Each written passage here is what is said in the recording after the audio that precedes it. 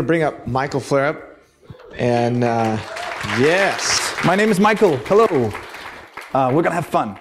My last name is uh, Flarup, I believe the Americans pronounce it. In Danish, it's Flarup. And we can all try that later when we've had a couple of beers. and that is also my Twitter handle. So in the event of me saying anything clever in the next 45 minutes, you know, feel free to tweet it. Or if you have questions, you can also tweet me. Cool. I'm from Denmark. And uh, Drew has flown me in all the way from Copenhagen, which is uh, far away, to talk to you guys and to spend this wonderful weekend with you on the beach. And uh, I'm really privileged and just want to thank Drew and, and Matt here for, for, for having me and you guys for listening to me.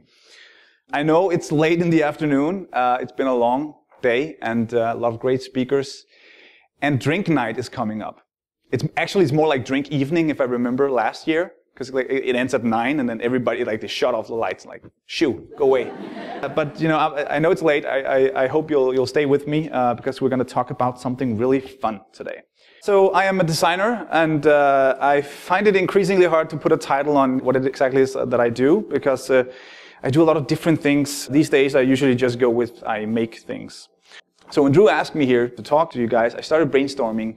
There's so many things that I wanted to talk to you guys about, and I only have 45 minutes. One of my great passions is, is app icons. There's just something very magical about crafting these little gems. There's just this uh, level playing field of uh, grasping for people's attention within the same limited amount of space. You need to tell this little story to create this little piece of scalable branding I've made icons for games like these where you really flex your creative muscle or icons for utilities where you need to carefully consider every shape and every gradient. Simplistic icons. Sometimes I just make icons for fun, really. Like these ones I did for a personal project I call App Icon Wars. Just to play around with the constraints, explore what's possible, even the sillier parts of it. So in short, I love making icons and I have, I've made quite a few icons over the years both for uh, my own products, uh, but also for clients around the world. I also uh, create and maintain a resource called App Icon Template. It empowers a lot of people to do their own app icons, maybe people who are not as savvy in Photoshop as, uh, as some of you guys out there. And it makes it easier to get from idea to execution. I obviously also do a lot of other stuff. I don't get to sit around and do icons all day. I do uh, interface work. I'm an interface designer, a product designer, and uh, a game designer worked on a lot of games. I think games are a really fun design discipline. And recently, I also became a baby designer.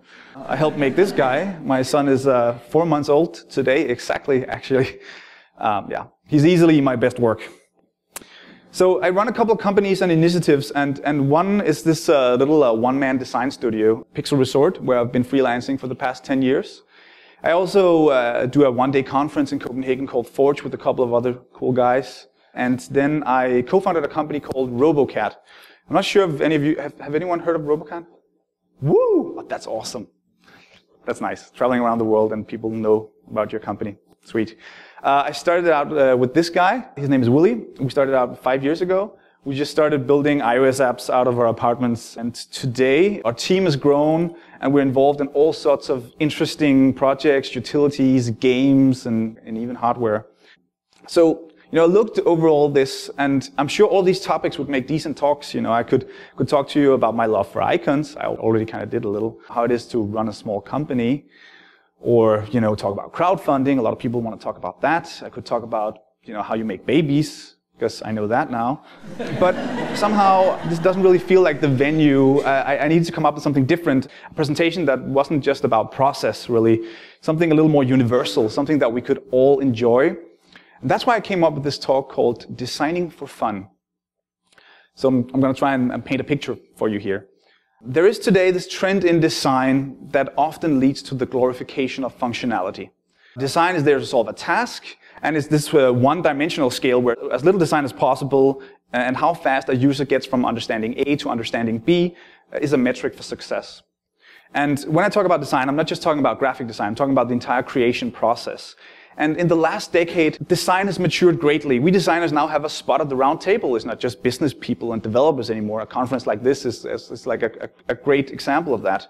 We have a say in what ideas we pursue and, and how we make people feel about those ideas. But with this maturity, there's also like the stronger sense of right and wrong, conventions to adhere to correct ways of building businesses and products. It's serious business all of a sudden. Like, I, I feel like a lot of designers have become a lot more serious.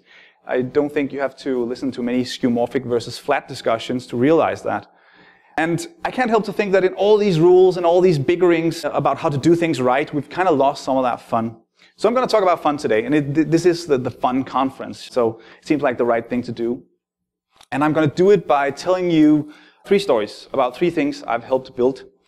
Each story have fun elements to them, a fun backstory, a fun idea, fun execution.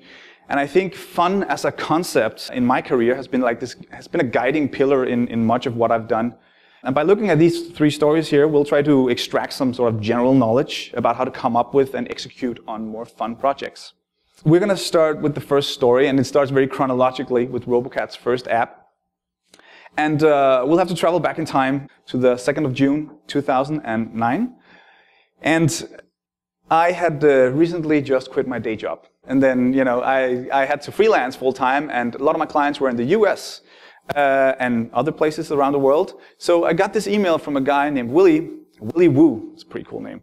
Uh, and uh, and he he asked me for some graphics for a, for for an app, an idea that he had, and he was from Denmark. So I was like, cool. What do you do with local clients? You know, you have beer with them, right? So uh, Willie, he kind of explained this idea to me. This, uh, this, he wanted to, at, at, this point, I think we were at iOS 2 or 3 or something like that. It's very early days for apps. And like now, there was a lot of weather apps out there, but uh, you kind of had to be like a pocket meteorologist to really enjoy them. So his idea was it would just be like this little graphical universe you saw out like through these little doors, this little window, and you'd just see the weather outside. And I almost spilled my beer, and I like, oh yes, so you want me to draw all weather, basically. That's going to be pretty expensive. So we decided to team up and if Robocat had been like a movie, this would have been like the montage where we worked the Rocky theme playing in the background. You know, we worked at his place, worked at my place, worked at a bar. The app eventually uh, came to be known as Outside. And it was very much a summer app. We were some of the first people to actually do push notifications. Today it's very easy, but back then you have to build your own server. We had to have subscription services and all that. And the, some of the notifications you get would be like, when is it t-shirt weather outside? And summer in Copenhagen is, is nice. I mean, it's, it's, it's it's not as nice as this, but it's, it's up there. But uh, the app ended up being launched on the 22nd of December, which is not at all like this in Copenhagen. So that was kind of it's kind of fun. Rather than telling you this whole thing, actually I brought some um, some old school video from the night we launched outside. It's very embarrassing behind the scenes stuff with a younger Michael and a younger Willie.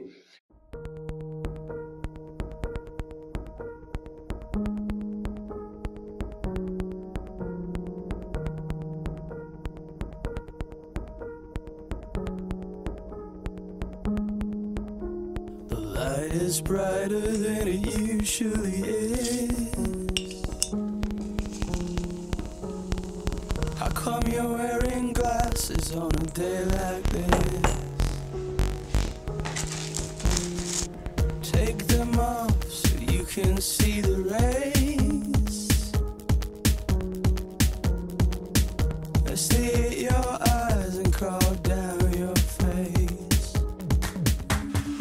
Basically, we got word from Apple last night that our app Outside has been approved. Right now, I'm working on the video that's going on outsideapp.com and I'm a little tired because I was out drinking when Apple decided to approve our app.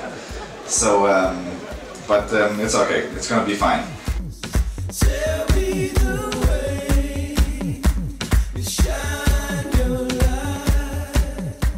So we're ready to take on hordes of users. Yeah and it, I'm taking it by the confidence in your voice that this is, you know, it's just gonna go great, and the server is completely up to date. Yep, it's going to be, it's going to be awesome.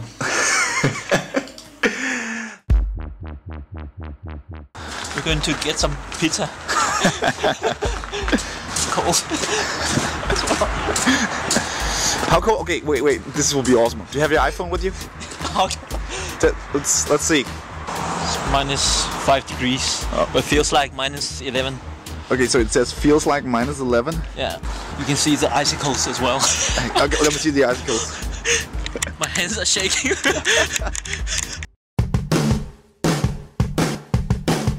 so we've made an app that tracks how many users that have bought the app and they're registered on the server. So basically, when you start the app, you can see how many units have been sold, and right now it says six units. and at the bottom it says how much how much money we've earned so far. With this little app, we'll be able to monitor all our sales over Yeah. Christmas. that is, It's I mean, that's just silly and extremely awesome. also it shows on the badge how many users. Oh yeah, that's awesome.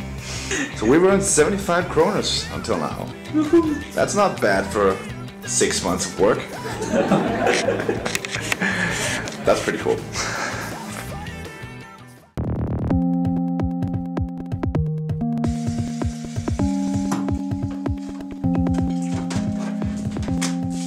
So the secret ingredient of being a great iPhone developer? Instant coffee. And lots of it. So it's a little after midnight here in this Copenhagen apartment, and um, the app is slowly coming online in the different app stores. I think we're about to hit Western Europe actually. Uh, our two sites are ready to go online. We're pretty much good to go. So uh, we hope you enjoyed this little uh, view behind the scenes. Um, and uh, we hope you buy the app, of course, and have a lot of fun with it. So uh, thanks for watching.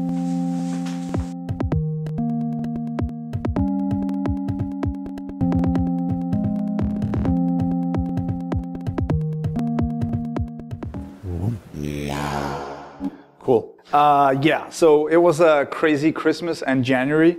That little batch on the money shaker actually made a money sound when you sh- shook it. The user count went to uh, 35,000 users, paying customers at tier three, which was uh, pretty insane. And we looked at each other and we are like, okay, we should probably build a company. And uh, we, we got featured on every major tech blog, uh, basically. Uh, maybe there wasn't a lot of other great stories out there that day. I don't know what happened, but for, the, for that single day, it seemed like just everybody was just talking about our app. And then one morning, we woke up to this. And of course, this is the first full week of spring. and know, the flowers are blooming, birds are chirping.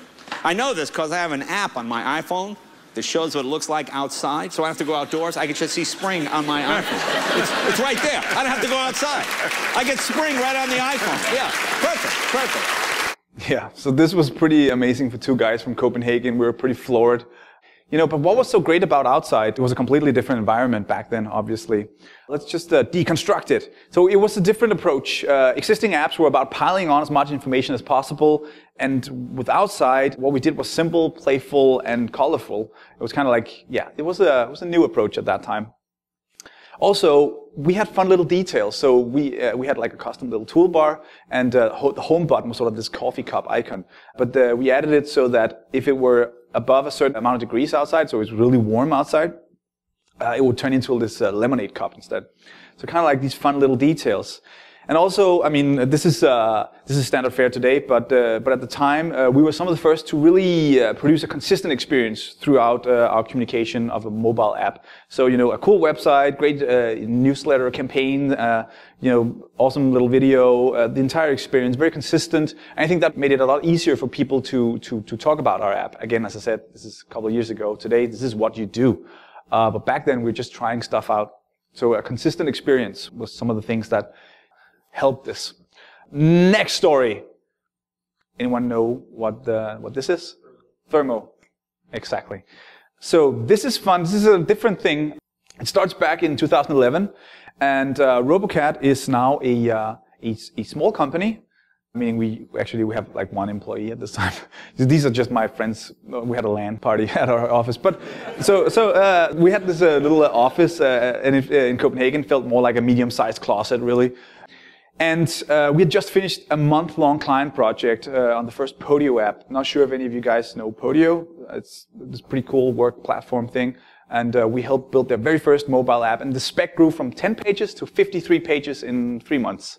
So it was like, it was just like an insane thing. And we were exhausted and when we finally delivered the product. And we needed something like small and fun to work on.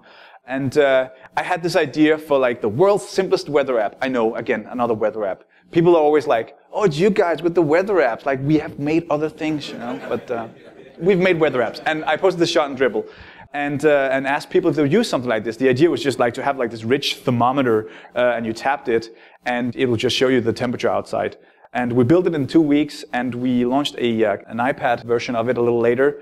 I'm just going to show you a very short video uh, from the iPad launch. And a little bonus fact, the guy playing the piano in this video is actually the first employee of Robocat, Ulrich, and also the, uh, the, the, the lead developer on Thermo.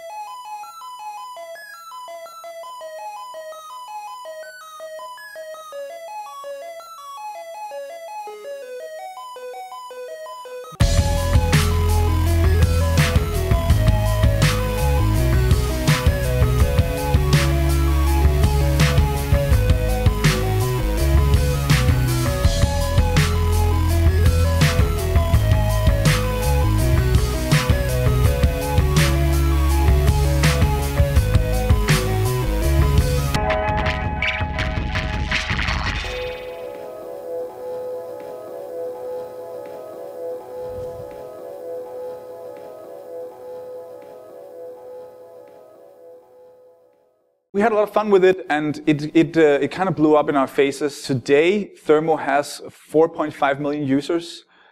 You know, what was so great about Thermo? Why did we get that many users? Well, it was simple functionality, rich execution, simple to understand, basically focusing on just one feature, uh, and it had like this attractive packaging. Wooden interface before wooden interfaces were cool, and then came out of uh, vogue. And uh, it was a passion project. It was driven by developers and the community. We asked people if they wanted to use this, and they, they contributed all along the way with translations and, and all, all these ideas. Actually, we added something fun to, to Thermo about a year ago. We kind of wanted to try and capitalize a little on all our free users. So we thought, how can we add something to such a simple app that wouldn't, you know, interfere with people using the, the app that they use every day, but kind of give them something extra, a way that they could actually spend some more money in the app. It's a free app with ads, and you can remove the ads, and then that's basically it. So we added this tiny little theme store. It's enormously silly. So you could actually customize the uh, the way your thermometer looked. So the theme store, it kind of had kind of had this elevator music, right? You went in there, and there's all these little themes. So yeah, there's a steampunk thermometer. Who would want that? I don't know, but people there they buy it. There's this like all these different wooden thermometer, and there's this bling thermometer which has like little diamonds and a silver chain that jiggles around when you move your iPhone. And the thing is, all the other themes are just like a dollar, but the bling theme is ten dollars. and people buy it, you know, because it's fun and it's weird, and and this music is yeah. It, so yeah, it's just a, a fun, fun little thing. Cool. So next, the, the last story I want to tell you is Thermodo. The story begins early last year. Robocat has grown a bit. And we have a larger office. We have some more fun projects under our belt. A lot of people are using Thermo, as you just saw. We have some great ratings on the App Store. But, you know, we look at this and we're like, why why is it why is it not five stars? You know, four and a half is nice, I guess, but what's that? what's that? So we uh, we looked into the one-star app reviews. We saw stuff like this. So I checked the temperature in our bathroom and then went to our fireplace, and it still said minus two degrees. It doesn't work. It's a waste of time. One star. So this poor guy, uh, he, uh, he obviously thought that the, his iPhone could measure the temperature right where he were. You know, we felt, I mean, we laughed a bit at him at first, admittedly. Uh, but then we started like thinking, how could we, ever the pleasing Robocats, how could we solve this guy's issue? Then Willie bumped into this guy at a party. This is Marcus. Uh, he's an electrical engineer. And we, we pitched him some of the ideas that we had. And he came back to the office uh, a week later with this thing. And uh, it was just this thing that he soldered together by, uh, by components that he sourced from things he had at home. And not much to look at, but uh, it actually worked. The way it works is that it's, it sends an audio signal through a passive temperature sensor on a four-pole audio jack. And uh, then the sensor attenuates uh, the signal uh, depending on the environment, and it's fed back through the microphone input. And then we have some fairly advanced software that, that tries to calculate, you know, what is the, what is the temperature of the actual sensor. So not much to look at, but then we started the design phase and I got to design hardware. And that's fun. I'm very much a digital designer. Getting to, to do something physical was a really fun challenge. And, you know, we sketched it out, decided on this kind of keyring uh, look that we wanted, so you always had it with you in your keys. We had some people help us do the actual cat drawings for it. It was pretty awesome to have that. It was very Iron Man-ish to have that thing you could manipulate it, you could pull it apart and stuff like that. We went to a very exotic place called Damvi Develop, which was uh, in the suburbs of Copenhagen. probably like in the most boring town uh, of the entire capital area.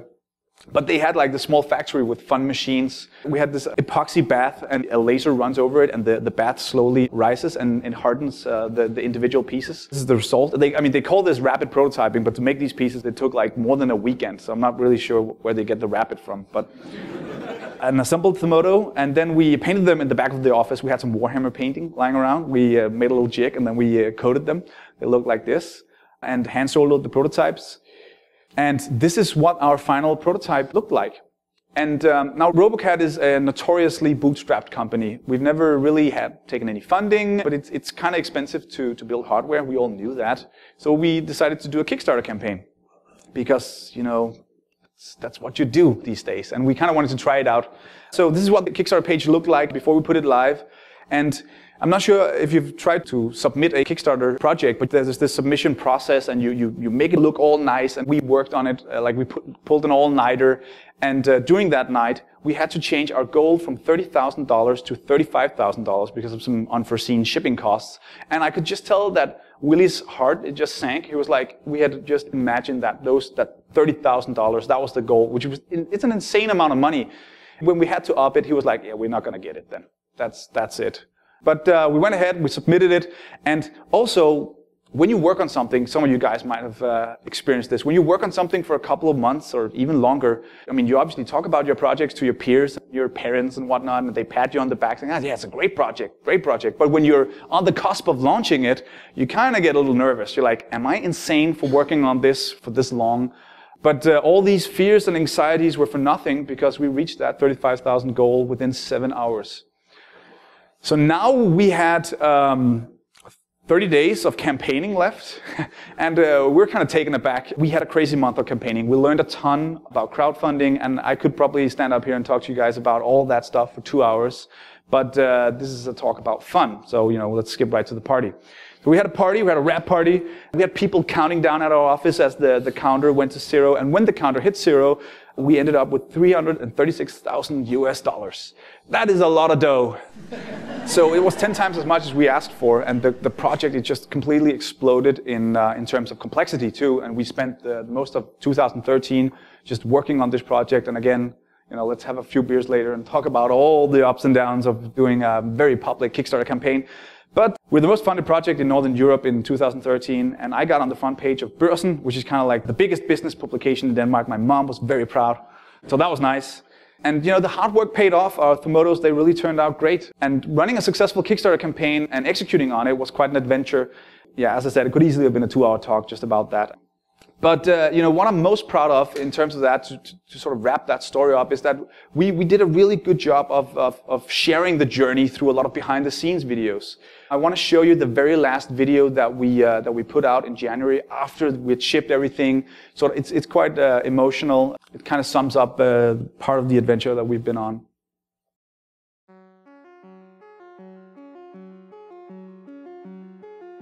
The turn of the year was a crazy time for the team. It was a moment we've been working towards for the better part of nine months. The moment when we finally got to ship the first Thermodo units. This was the culmination of months of hard work on both software and hardware. Overcoming production obstacles and inventing new processes. Utilizing the extended funding to make sweeping changes to our product. Suffering delays and frustrations of iterative prototyping establishing relationships with overseas facilities, plowing through hundreds of samples for the right finish, solving deeply complex software issues, understanding shipping structures, obsessing over packaging solutions, and logistically balancing a first production run of 12,000 units to 77 countries all while communicating as best as we could along the way, bringing 9,000 vocal backers behind the scenes.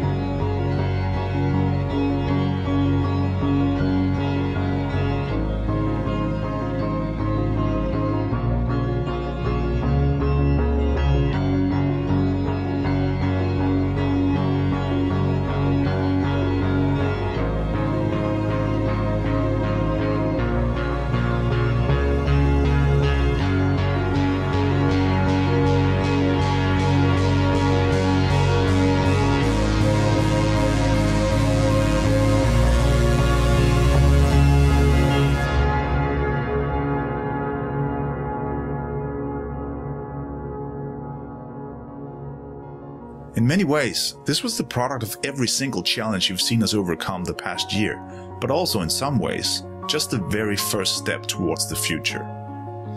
This moment did not disappoint. As thousands of people received their Thermodos over Christmas and January, we've been flooded with feedback. Everything from love letters to hateful comments have poured in, and the passion is palpable. It's been amazing for us to see the amount of emotion, and we've tried our best to get back to everyone, no matter if they've given praise or disapproval. You are the ones who allowed us to build this thing. You are part of the team, not just a customer.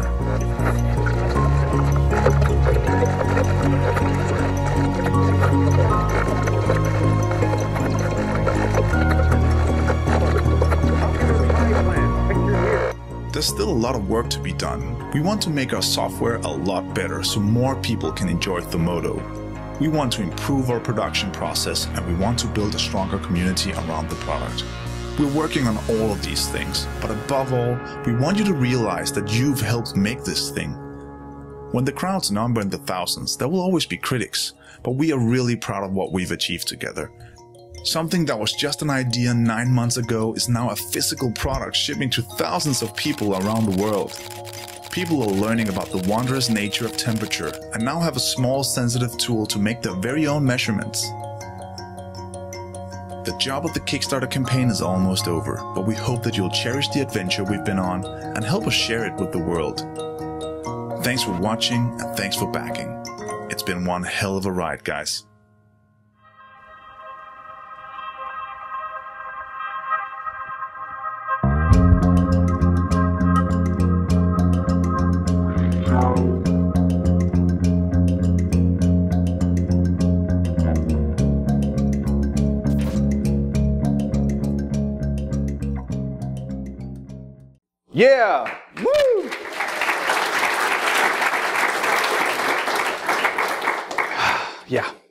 Fun year, hard year, fun year.